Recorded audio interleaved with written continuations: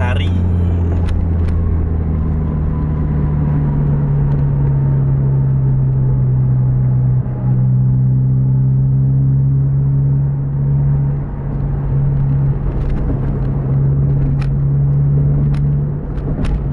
Ketinggalan kita.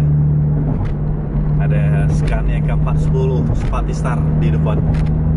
Non-stop fast lihat berapa lari ya tuh di tol ah.